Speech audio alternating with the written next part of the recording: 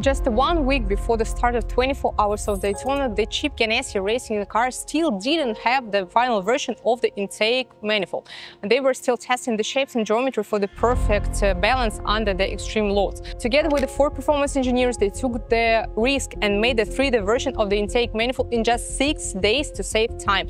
They made the reinforced uh, carbon fiber inserts, um, tested it on the prototype, and left to the actual car for 24 hours run. In 2015, they won this Daytona with the rapidly prototyped 3D printed part under the hood. First victories in this classic sports car enduro for his teammates Tony Kanaan, Jamie McMurray, who has his own special place in the history books now, and Kyle Larson. What an amazing story. The story, it's not about luck. It's about the precision engineering, uh, smart choices, and the power of technology. Today, the 3D printing is not something extra. It's the standard across the motorsport, and we're not an exception. So now we build the components for the Pro Drift race cars. Make sure to be subscribed, and we'll show you how we use the 3D printing in our Pro cars.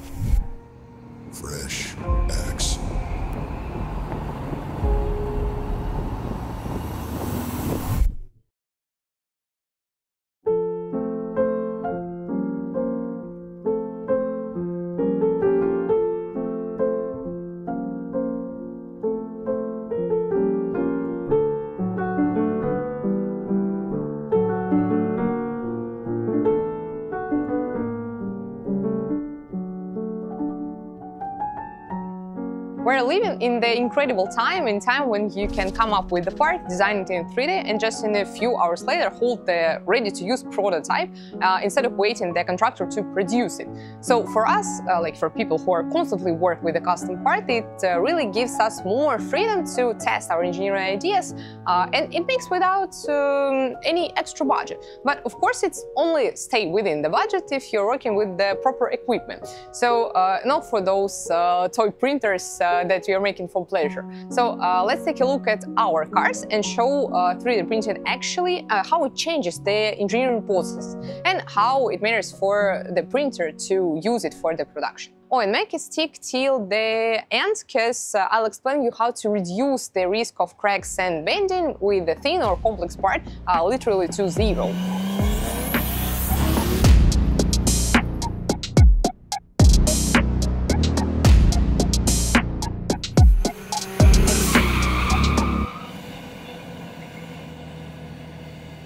At our flagship Pro Z, uh, we have at least 15 um, parts that we made with a 3D printer. Uh, could we buy them? Some of them, yes, but it means a lot of compromises. When we're choosing the printer, we have the couple of criteria. And it's great that it perfectly matches the Epitum JL printer that we're using right now. First, it's the exact aesthetic we wanted, uh, so without uh, any mass production compromises. We already have the bunch uh, custom parts that we need to tie together, and uh, we just create the specific elements uh, for the connection, and it will work with the more complex design. Second, it's the flexibility between the print quality and speed. So our printer allows us to adjust the precision uh, depending on our purpose. For example, for uh, functional parts, we can use 0.1 millimeter and we uh, just wouldn't see the layer uh, lines. But for prototypes uh, that we're testing, uh, 0.3 is enough, so this way we'll cut the production time by a couple of hours. And this way we'll save the time, especially when we're working with the complex structure and we need to test it quickly. In my hand, I had the um, great example, uh, ideal one, I would say, uh, how the 3D printing makes you more freedom and opportunity to test your engineering ideas and solutions.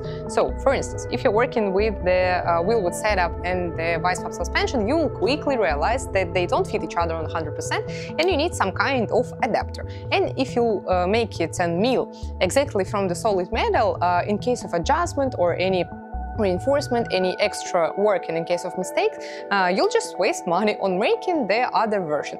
But we just made it the smarter way.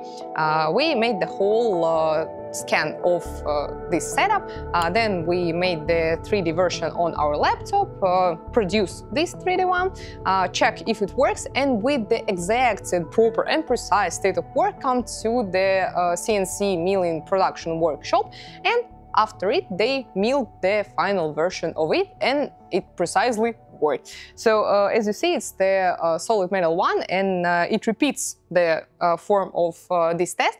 So in this case, you see it's the intermediate level, it's not the final version, but it saved us more resources, time and money.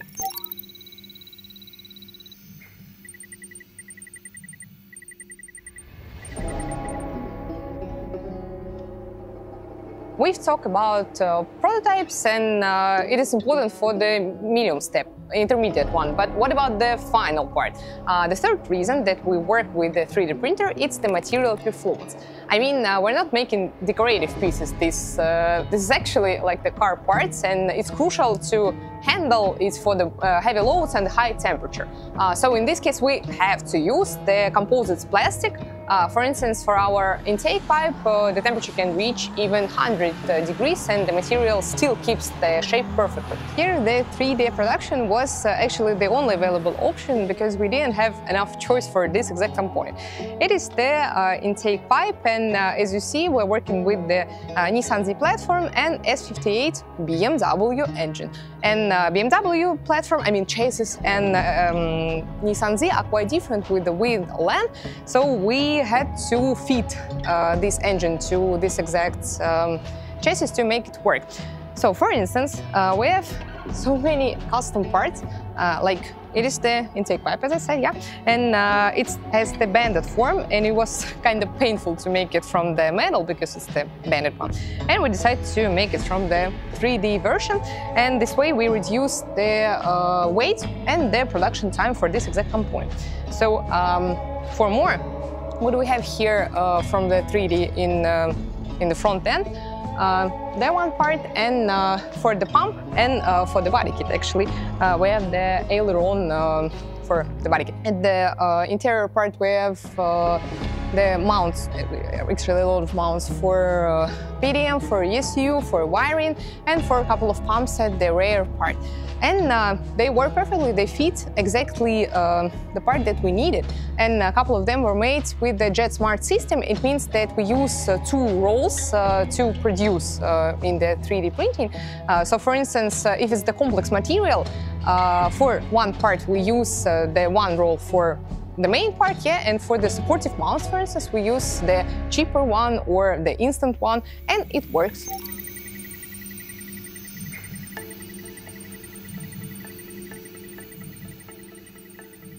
Another thing to consider is the enclosed uh, build chamber. Uh, yeah, a lot of printers have the open one, but for our task it's more like the downside. Look, the enclosed chamber uh, helps to maintain the same temperature throughout the print inside the chamber itself. So when we're producing like the thin parts, for instance, like here, like delicate one, um, we'll reduce the risk of the cracking, of uh, extra cooling, because uh, if it stays this way, for instance, yeah, uh, we have uh, one temperature uh, part of at this level and here we have the cooled one, so it's not the maintaining one. So we need to have the same level of the temperature inside the inside the chamber, yeah, to um, make these components in the correct way.